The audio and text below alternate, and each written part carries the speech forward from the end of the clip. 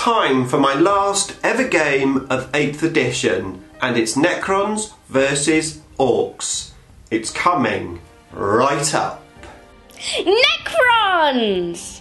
Nick speaking, and welcome to this battle report. And if you're new to the channel and you want to learn about Necrons and more, then please subscribe and hit the bell button to turn on all notifications so you don't miss an upload. Okay, so here we are. I am with Richard from Capatan Morgan's War Games. Hello, Richard. Hello, Nick. Welcome to the hobby room at social distancing uh, amount. Yeah. So this is going to be fun because we're social distancing. I'm not going to show any of the dice rolls. I'm going to do an end of phase battle report, and Richard is here with his eighth edition tournament ork list. Which I probably won't get to buy now. Uh, however, it's going to be a lot of fun. Uh, there is a link to Richard's channel in the description below, so make sure you head on over and give him a sub. In the meantime, let's have a look at my Necron list. Okay, so this is my army today, and I am playing something totally different, and I've gone for the Nephrekh Dynasty. I don't usually play them, and actually they do have some nice tricks. So I've got a 2,000 point army, a battalion detachment first of all, headed up by this guy here. He is my Overlord, and he's got the Warlord trait, Living Guard. That's the Nephrekh Warlord trait, which gives him minus one to hit against him. We then have a Canoptek Cloak Cryptek, and he's got the Nephrekh artifact Solar Pulse. Troops wise, we've got one squad of eight Immortals with Tesla, and two squads of five again with Tesla guns. We then have the Elites slot, and we've got the Nightbringer. We then have a squad of six destroyers and two squads of heavy destroyers. I've then got an Outrider detachment headed up by another cloak tech, and I'm going to use dynastic heirlooms to give him the Veil of Darkness. We then have two squads of wraiths and another squad of destroyers. I'm going to use one command point to give them a translocation crypt to keep them in reserve. 2000 points exactly, 9 CPs, minus 1 for dynastic heirlooms. The Nephrekh dynasty will let me auto advance 6 inches, and I've selected my stratagems which I'm going to use mainly in this game. We've got repair subroutines to help reanimate the wraiths, extermination protocols to help boost the destroyers, adaptive subroutines to give those wraiths the ability to charge after they've advanced 6 inches, and of course, translocation crypt to put the destroyers in reserve. I'm going to be quite aggressive with this army, pushing the Nightbringer forward, and also the Cloak Tech here with his Solar staff. Quite a nice shooting weapon, actually. The destroyers, of course, are going to do what they do best, and the wraiths are also going to be charging forward. This cloak tech here is going to hold back. I'm going to Veil of Darkness him over to these guys here when they deep strike, just to give them the 4 plus RP. In the meantime, of course, this guy is going to try and give 4 plus RP to the destroyers and hopefully to the wraiths when they start reanimating. The two units of heavy destroyers are my only long ranged anti tank weapons. However, it was the best I could do with all of the units I wanted to take in the army. But either way, I'm sure that this is going to be fun. Okay, so that's my army. Now let's have a look at Richard's orks. Okay, we're in my kitchen. Richard's got his three battalions spread out over all of my worktops and the cooker. And I'm trying to keep two metres away from him, so yeah, Richard, what have you got over there? Right, I have a, a war boss with the killer claw and the uh, combi weapon with rocket launcher. Uh, I've got a weird boy. He knows uh, Gork's fist and the jump. And then I've got three lots of 30 boys with, and, and one of those is a Nob. Uh, two of those have got uh, power claws and each one has got three tank buster bombs and I've got a unit of 11 that, with a, 10 boys and a Nob. No, no special weapon in that one. Then I've, my second battalion I've got is my Dread Waaagh detachment. I've got two shock attack guns. Uh, one's a souped up the shock attack gun. I've got two units of 20 Gretchin and one unit of 10 Gretchin and a unit of 14 looters with a spanner in it who's got the the cleverest spanner. War Boss has got the, the biggest War Boss strap on me Saga of a Beast. Basically gives him a couple more wounds and, and an attack and gives him 4 plus invul. Uh, going into my third detachment, I've got Big Mek KFF with the uh, Grot Oiler. I've got second Weird Boy, he knows the crunch. Uh, then I've got three units of 10 Gretchin And then I've got two lots of four Mek guns, Smasha guns, and they're um, accompanied by their big rock crew. But once I deploy them, they become separate units. So it's Okay, and you've recently got these models. These are made from MDF, yeah? yeah, they're, they're, they're from uh, TT Combat. TT Combat, yeah. Uh, I, I've got to get another another set of four of each, so so I'll end up having eight of each kind. right. So 24 modern Yeah. Mek guns might be a bit overkill. TT Combat for the win, that's for Yeah. sure. Yeah. Okay, excellent. Right, let's get on with this game. Okay, here we go. So we are playing Scorched Earth from Chapter Approved 2019, and we've got Frontline Assault Deployment. I won the first roll off and chose to be the attacker. I have deployed. We've got the two units of Wraiths right at the front there. Nightbringer one side, Cloak Tech the other side. We've got some heavy destroyers, destroyers, and heavy destroyers just here, and the Immortal Blob with the Overlord just here. They're standing on one of the objectives. The other Immortals are over here, standing on to, on that objective there. We have one objective in the middle, and one on the flank of the middle there. which is deployed, well, in the whole of the deployment zone, his two objectives one over there next to some Gretchin, and one over here, right in the corner next to some Gretchin. and then we've got the, all of the big, uh, what are they called? Mek guns. Mek guns, loads of Mek guns just there, and then of course a whopping amount of orks. And Richard is very keen to roll his dice to try and seize the initiative. He's praying to the dice gods. Here we go. No! Oh no! Oh. Oh dear. That might just. That could change this game totally. Are you happy, Richard? I am extremely happy. Okay. well, do your worst then. Orks, turn one. Okay, so end of movement and psychic phase for the orks using a character at the back there, Evil Sunz, uh, managing to advance, which gives him the ability to assault as well. And he has he advanced six inches on this big blob in the middle. All the other boys have also moved forward. Not too much other action except as I knock over a Necron tomb. These little grots here have come over here with the jump, ready to assault my immortals. First of all, though, we need to shoot. Okay, shooting over basically the big guns over there killed both of my heavy destroyer units. Both are gone. I lost two immortals from this squad here, and the looters and some of the other guns chipped away at my wraiths. I've got two wraiths left, and one is on one wound, which it is just about to declare an assault. Okay, so Richard assaulted with his grots into my five immortals. There's me thinking I won't be bothered about not having Overwatch. And in this Overwatch, I killed seven of them, which was pretty good.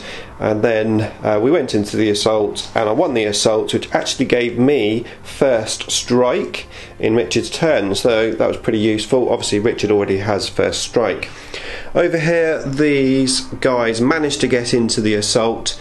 Uh, they did no wounds on my wraiths. I saved everything. And then my wraiths attacked, and I killed five of the orks. So that is the end of turn one for the orks. Scoring for this mission starts at the beginning of turn two. So let's start with Necrons, turn one. Okay, first of all, RP. We've got two immortals coming up on a five plus.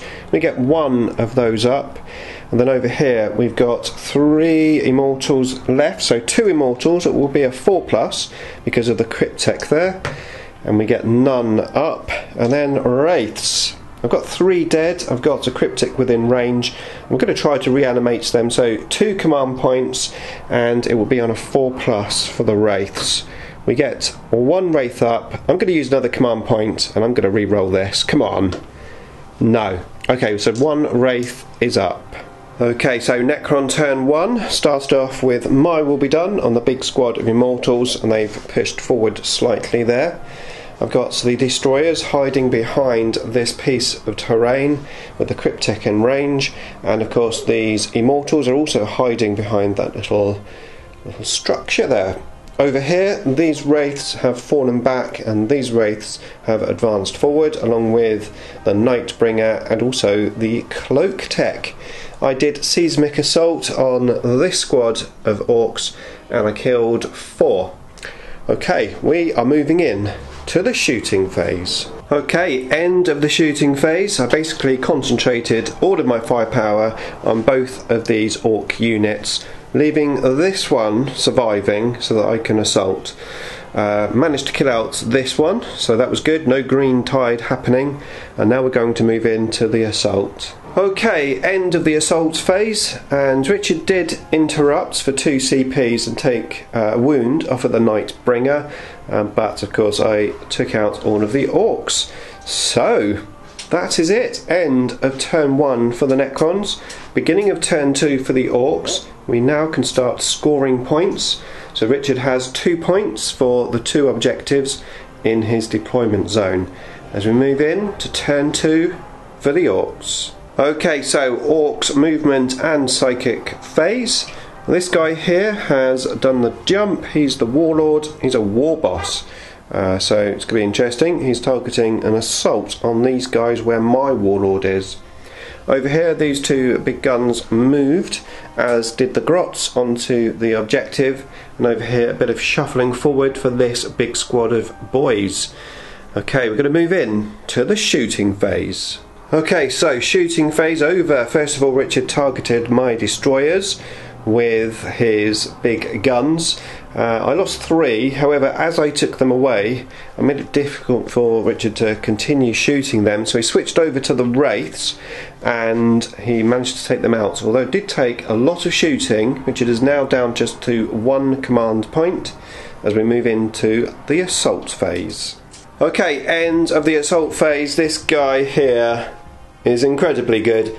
He throttled five immortals easily, and then he took four wounds off of my overlord. I did forget that he was minus one to hit. However, I did make Richard re-roll it because I was figuring he might have actually killed him the next time because I did do two invulnerable saves to keep him alive.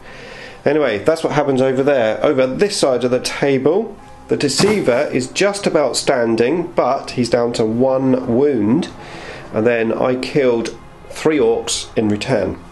So that's the end of Richard's turn two. It's now Necron's turn two. I'm going to score two points, one for this objective and one for this one. Okay, so movement phase for the Necrons. I fell back with my Overlord just there and just jiggled these around, getting as many as I could next to the objective. Over here, these guys stood still and these are hiding behind the piece of terrain the best they can with the Cryptek close by and the wraiths just there as the deceiver fell back heading towards this little blob. And then I did the veil of darkness on this Cryptek over this side of the table and then brought in the destroyers. Okay, shooting phase. I took three wounds off of this guy with the immortals just there. Couldn't shoot anything else because this blob in the middle was the nearest target, so I just concentrated on this blob and I've got them down to six models, which are definitely going to foul morale. I think I will still assault them just to get my race near that objective in the middle. These guys shot into the Grots, who had an invulnerable save from a shield, but I did kill four of them. And then over here I used a Gaze of Death, killed the Spanner, uh, Looter with the Spanner, and was that all? Yeah. Uh, so that's there, and then over this side, these destroyers used the extermination protocols and shot basically these orks here. There's a big squad of 30, and we're down to just six. So assault phase next. Okay, so end of Necron turn 2. I didn't assault with the Wraith, so just let the Orks die for morale. And then I assaulted the Gretchin with the Deceiver, killed two Gretchin. I had no wounds taken back, bearing in mind he's down to one wound on the Nightbringer, not Deceiver, Nightbringer. Richard keeps calling him as Deceiver as well. Yeah, Okay, so we're going to move into turn three for the Orks. Richard has his two objectives in his deployment zone, taking him up to five points. I'm currently on three as we move in to turn three for the Orks. Okay, so Orks movement and psychic phase. Well, these guys here have just done the jump, trying to definitely slay the Warlord. I did forget uh, that these two little grots here did score this objective, so Richard is actually on six points. These guys just moved over again, did they? Yeah. yeah moved over again. Over this side, these just, well, jiggled around, holding that objective at the back and just putting a little bit of a threat on me here. Now you'll notice the Nightbringer is gone. Richard had the crunch, one dice, and he rolled a six uh, killing my Nightbringer. I did explode and I killed two grots in the explosion. Okay, shooting phase. Okay, end of shooting phase. These grots shot into my overlord, did no damage. However, my wraiths took a pounding. I'm down to just one wraith. I am within range of the objective though. And then over this side of the table, I lost three of my destroyers. One destroyer is down to two wounds those big guns and looters, a nice long range and lots of good damage as well. So, end of the shooting phase. Richard is going to attempt a very long charge onto my Wraith, and of course, these little grots are going to assault my Overlord. Okay, assault phase. These guys failed the assault.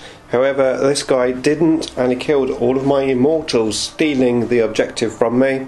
Then over here, these guys did a whopping 10 inch charge, got within range of my Wraith, did one wound on my Wraith, I killed nothing back, and have stolen that objective from me. So I just scored one point from here. It's not looking good for the Necrons.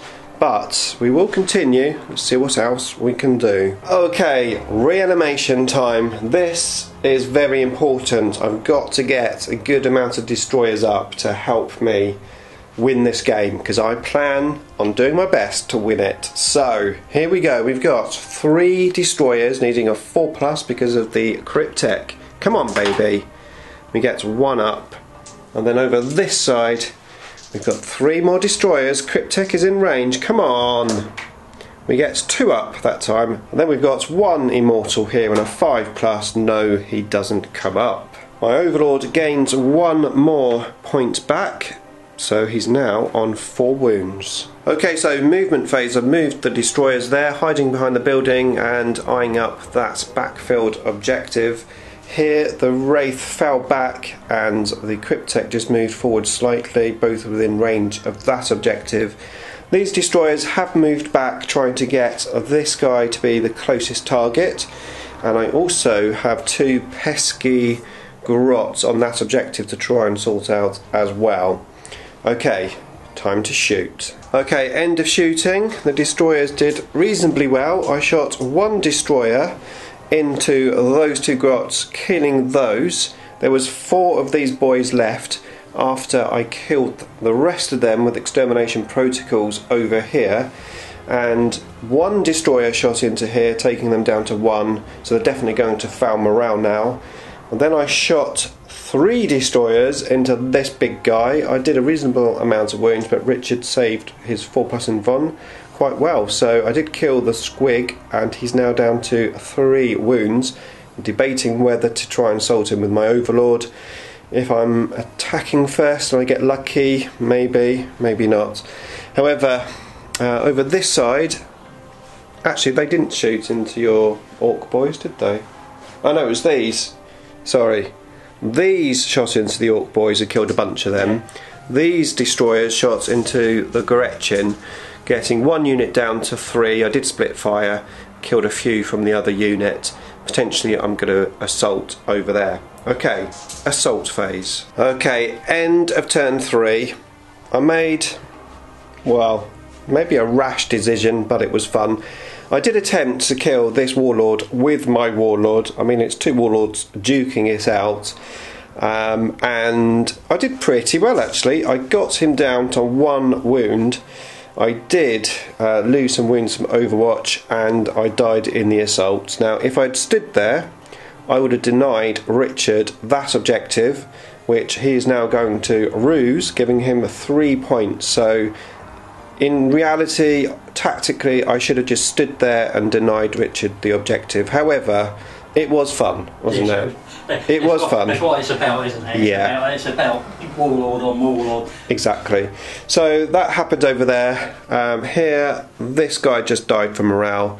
And over here, I assaulted the two units. I killed one unit, and I'm locked in combat with the other one. And that was it. So we're going to move into Richard's turn four. Uh, Richard is going to get another two points. Yeah, well, plus, you're going to ruse that one. That one, yeah. So that gives you five. So yeah, we're looking at 11 points to 4 as we move into turn 4 for the Orks. Okay, end of shooting and assault phase for Richard. And well, I actually got some glory because this guy, he did a, quite a big uh, move all the way up to here, assaulted my immortals, and I killed him in Overwatch. Yay! So that was Slay the Warlord, giving me a point back. However, I lost quite a number of destroyers, just one destroyer left. And then in the middle of the table, the Weird Boy assaulted the Wraith. The Wraith took one wound from Smite, and then he killed him in the assault, consolidating into the Cryptek, and the Cryptek did no damage on the Weird Boy. Over here, I lost all of my destroyers from shooting from that massive blob of long ranged shooting guns that I can't do anything about. And that was the end of the turn. So we're going to move into Necron turn 4. I get one point for standing on this objective. That takes me up to 6. So it's 6 12 at the moment. So let's see what I can do. Okay, so first of all, the destroyer's not in range of the Cryptek, but I do come back on a 5 plus, and we've got 5 destroyers. A really good roll would be nice. Come on. Yes! I'm liking that, Richard. Ouch, ouch, ouch. Oh, you love my destroyers, don't you? I, th- I think it is probably fair considering I stole the initiative on it. Okay, so those are back. There's no other rolls to make. Oh, there is. Let's get on. Come on, Immortal, get back up. Yes, he's back up. Okay, movement phase. The destroyers have moved onto this objective here. I've got these grots, which are a pain in the bum, and these two things here. So yeah, we'll see what I can do. Uh, over here, I've just jiggled around to get my guns in range. I fell back with the Cryptek over here and moved forward with the Cryptek over there. Okay, the sun is shining, it's very hot, and we are still continuing with this game, and not a bad turn really. So, I managed to kill the majority of these grots with these immortals. I had to put one more destroyer in to try to make them foul morale, which of course they have done. The other four destroyers shot into the looters, and I killed three looters. Over here, I used my solar staff and I took the weird boy down to one wound. He did lose a wound earlier from Perils of the Warp. I have assaulted him, I missed him, and the weird boy was blinded and also missed me. And then over here, the Cryptek missed uh, when he shot, but he did get into the assault, and I killed one Gretchin, and I took no wounds in return. So I did get a point back for standing on this objective.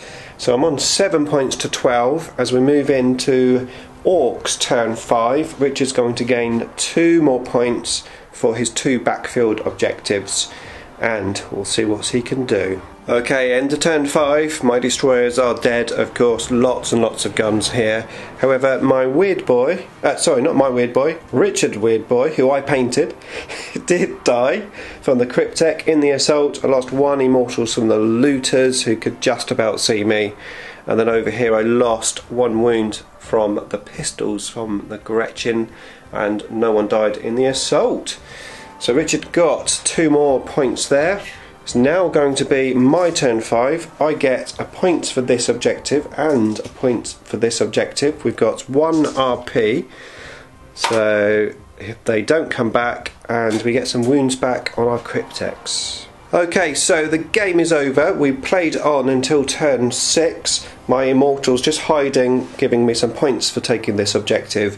In the end, my Cryptek did die to looters. Over here, the Cryptek who fell back shot his Staff of Light, and then Richard failed his morale check, so they all died, and then I exploded the objective, giving me a line breaker as well. So, all in all, the end result is 15 points to the Orks and 14 points to the Necron. So, a very close game in the end, even though Richard had I think probably the upper hand towards the end of the game there. I clawed a few points back pretty happy with that, Rich, because everything pretty much that you've got left, I didn't really have anything to kill it, did I? No, uh, and, it, it, and you hit, you, you hit well. So, I mean, I'm not just happy because it was a close game. It, it, it won. I mean, first first two turns, it probably looked like you were going to lose quite badly. Yeah. But you managed to stick in there, pull those points back, and do well. Uh, okay, so, well, that is it. Now, Richard has played this list against another Necron army. His battle report is up on his channel. I'll link you up to that in the description below. So, yeah, go and check it out. And here are some of my other battle reports which you may like watching next. Beam me up.